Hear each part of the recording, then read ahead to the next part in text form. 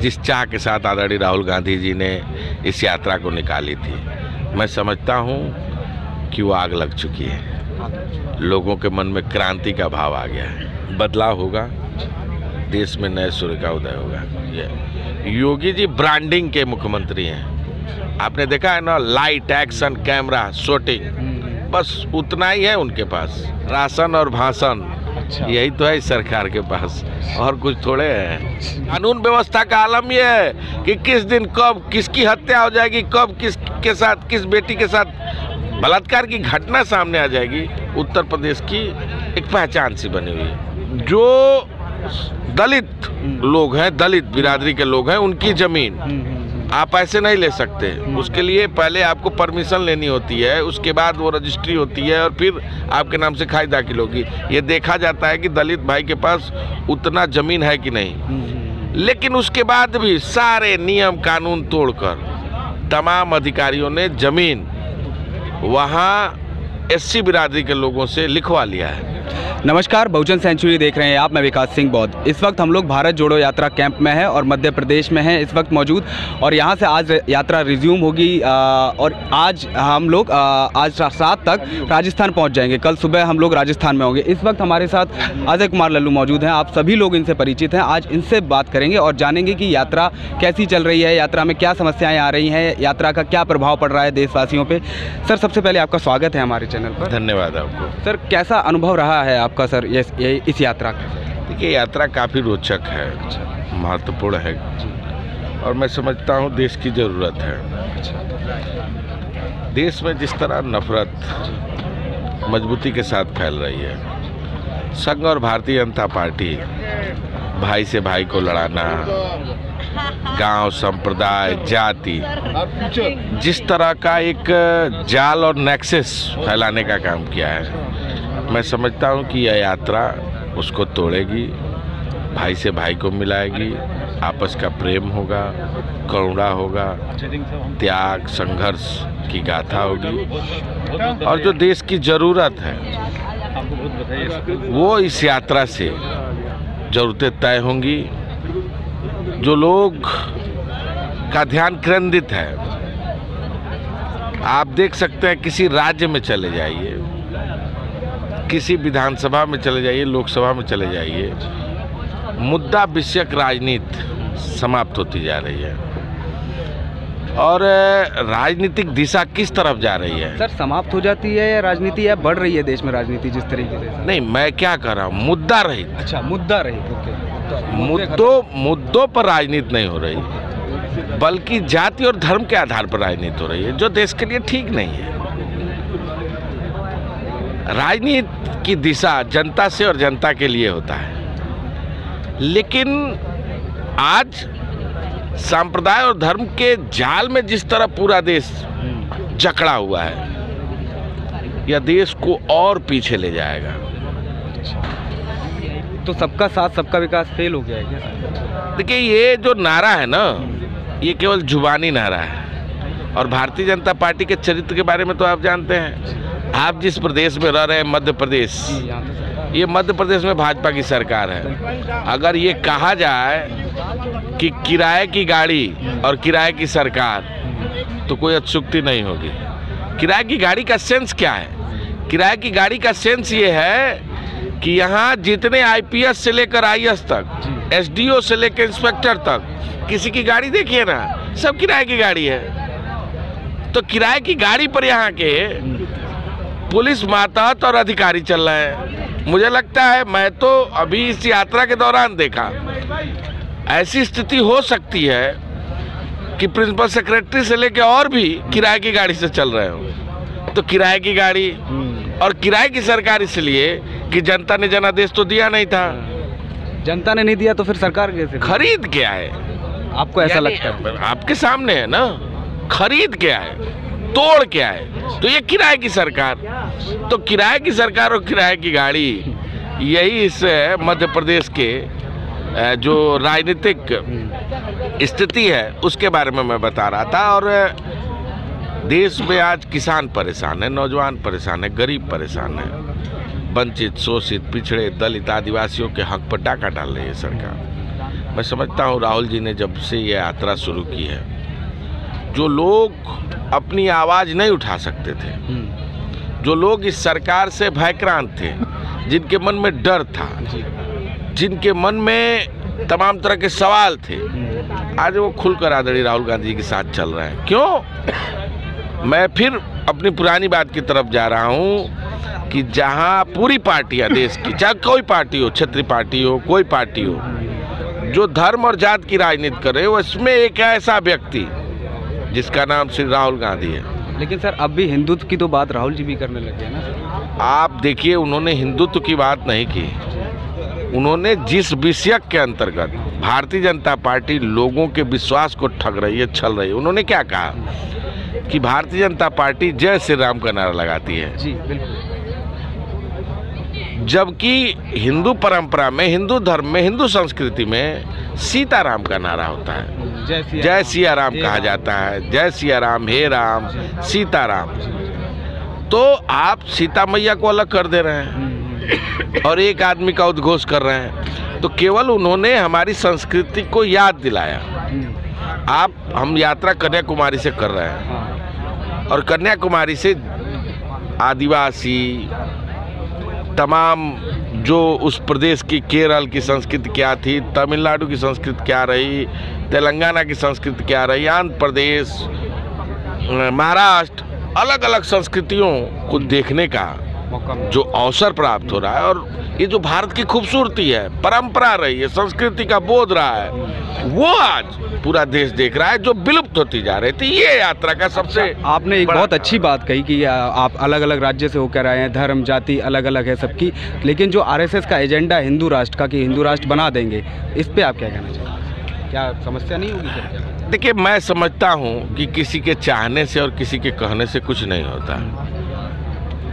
भारत में पहली बार आक्रमण नहीं हुआ है। मुगलों ने किया। यहूदियों ने किया। अंग्रेज़ों ने की अंग्रेज़ों ने किया। और समय समय पर इसका जो नेचर है ना उसको किसी ने पहचाना नहीं। लेकिन देश आज सभी वर्ग धर्म जाति और संप्रदाय को लेकर चलने वाले देश विविधता में एकता। जी। विविधता और संप्रभुता अखंडता समानता एकता समानता ये सब इस देश की धरोहर रही है इस देश की पहचान है। बंधुत्व इस देश की पहचान है। और ये कहा जाए कि कोई व्यक्ति चाह कर एक रास्ते की तरफ़ मोड़ दे ऐसा संभव आपको दिखता है? ये कहने कहने वाली बात होगी और कहने के लिए तो बहुत सारे लोग अपने दल और पार्टी बनाकर अपने विचारों को कई तरह से कई रास्तों की तरफ़ ले जाने का प्रयास करते हैं लेकिन चलता उधर ही है जहाँ प्रकृति चाहती है। सर आप यूपी से आते हैं बिलोंग करते हैं तो सर यूपी में योगी जी इस वक्त कार्य बहुत बढ़िया कर रहे हैं जैसा कि मीडिया में दिखाया जा रहा है क्या सच्चाई ऐसी है? मुझे लगता है कि मीडिया के दो धड़े हैं एक तो जय जयकार वाली है और एक आलोचना वाली है।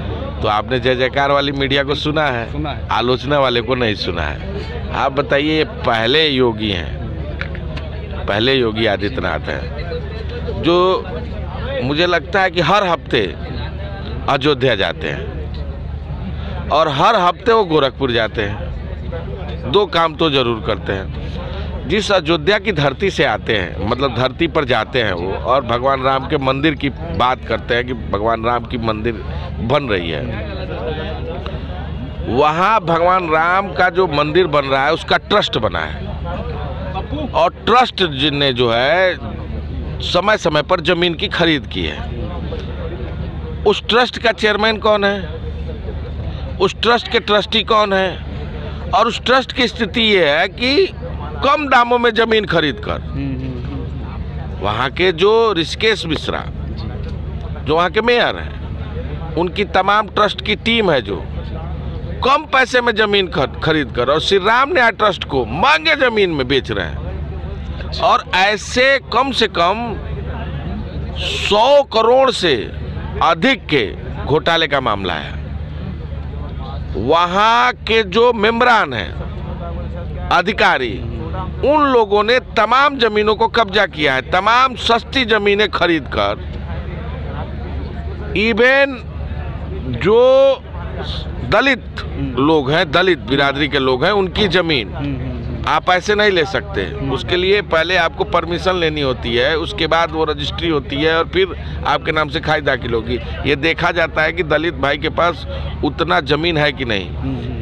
लेकिन उसके बाद भी सारे नियम कानून तोड़कर तमाम अधिकारियों ने ज़मीन वहाँ एससी बिरादरी के लोगों से लिखवा लिया है और कम दाम में लिखवा लिया है। एलाट करा लिया है कम दामों में। और उसकी भी जाँच हो रही है लेकिन वो जाँच कहाँ तक पहुँची है? भ्रष्टाचार का आलम यह है कि कोई भी परीक्षा होती है उसके पहले पेपर आउट हो जाता है। भर्तियाँ हो नहीं रही हैं। अभी उनहत्तर हज़ार शिक्षक भर्ती का एक मामला था जिसमें दलित और पिछड़ों के अधिकारों पर डाका डाला इस सरकार ने।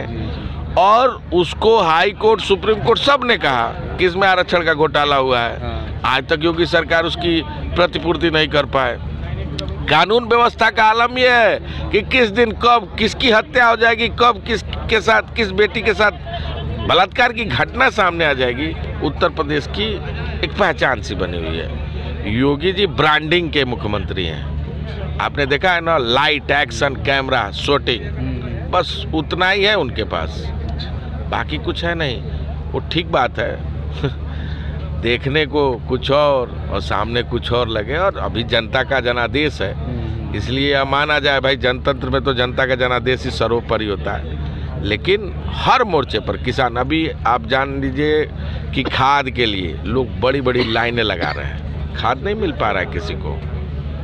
क्रय के चुनाव के वक्त में था तो राशन खूब बट रहा था उस वक्त तो। राशन तो अभी भी बट रहा है। अच्छा अभी भी बट रहा है। अभी भी बट रहा है राशन। राशन और भाषण अच्छा। यही तो है इस सरकार के पास। और कुछ थोड़े हैं। और अभी आप देखिए ना एक यूनिवर्सिटी का कुलपति जिसको उत्तराखंड की सरकार ने यह माना कि यह यूनिवर्सिटी के कुलपति के योग्य नहीं है। हाई कोर्ट में जाँच आया उनका मार्कशीट फर्जी मिला। उसके बाद भी छः छः यूनिवर्सिटी के वो कुलपति के रूप में काम कर रहे हैं। वो भी जाँच हो रहा है और अब तक उनको पच्युत नहीं किया। ये योगी सरकार की महान उपलब्धियाँ हैं। ये उपलब्धियाँ हैं। महान महान उपलब्धियाँ हैं। किन किन तथ्यों को किन किन बातों को मैं बताऊँ? गन्ने का दाम नहीं किसान आत्महत्या करने पर मजबूर अन्य जानवरों से परेशान बेरोजगारी का दर सबसे बड़ा उत्तर प्रदेश हम्म। कानून व्यवस्था में फेल और ब्रांडिंग में नंबर एक। तीन करोड़ की कंपनी काम करती है महीने की उनके पीछे। सामान्य आदमी नहीं है योगी जी। ब्रांडर मुख्यमंत्री हैं। तो अब भारत जोड़ो यात्रा राजस्थान में पहुँच जाएगी सर कल। क्या लग रहा है कि आपको कितनी सक्सेस हो चुकी है अब तक भारत जोड़ो देखिए, जो हमारा मूल विषय था, जिस चाह के साथ आदरणीय राहुल गांधी जी ने इस यात्रा को निकाली थी, मैं समझता हूँ कि वो आग लग चुकी है। लोगों के मन में क्रांति का भाव आ गया है। और देश का हर एक तबका देख रहा है। देश की जनता जल्दी बोलती नहीं है। और जब बोलती है तो तूफ़ान खड़ा होता है। और मैं समझ रहा हूँ वो आग धीरे धीरे धीरे धीरे सबके अंदर लगती जा रही है। क्यों? क्योंकि देश में गुस्सा तो है। बेरोजगारी से महँगाई से छोटे उद्योगपति रोज जो आत्महत्या करें उनसे इन तमाम गिरती हुई अर्थव्यवस्था से कोरोना काल के दौरान जो मौतें हुई, उन उन सब चीज़ों से, स्वास्थ्य, शिक्षा, निजीकरण, कर्मचारियों के साथ जो दोहन, शोषण तो मैं सोचता हूँ ये सारी चीज़ें एकत्रित हो रही हैं और एक बड़ा जन आंदोलन जो राहुल जी ने आगाज़ किया है, बदलाव होगा, देश में नए सूर्य का उदय होगा। थैंक यू सर, हमसे बात करने के लिए। अब देश में बदलाव होगा, नए सूर्य का उदय होगा, अजय कुमार लल्लू का ये कहना है। अब देखने वाली बात होगी कि ऐसा होगा या नहीं होगा, ये हम आपको बता रहे हैं। भारत जोड़ो यात्रा के कैंप में जहाँ पर यात्री ठहरे हुए हैं। आप क्या सोचते हैं, आप हमें ज़रूर बताएँ।